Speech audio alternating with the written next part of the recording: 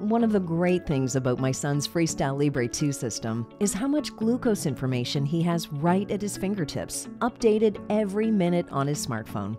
And he has a LibreView account, so his glucose data is automatically sent to his doctor between visits. LibreView is a secure cloud-based system primarily used by your doctor to manage patients on the Freestyle Libre family of products. Once you're connected, they receive your glucose information in the form of clinical reports, which they can use to better understand how to help you manage your diabetes. Connecting with your doctor is easy. The first step is to set up a LibreView account if you don't already have one. You can create an account right from the Freestyle Libre 2 app. Next, you'll need to establish a connection between your LibreView account and your doctor's LibreView account. There are two ways to do this.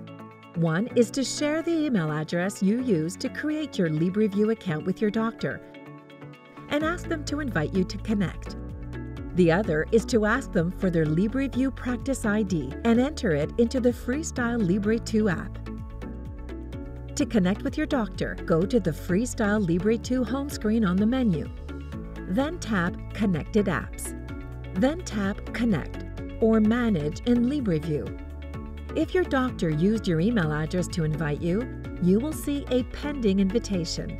If your doctor shared their practice ID with you, you will tap on Connect to a practice and input it here. Follow the prompts to complete setup. Your doctor will use your reports, including time in range, to help identify glucose patterns and trends so they can make more informed treatment decisions regarding your diabetes management.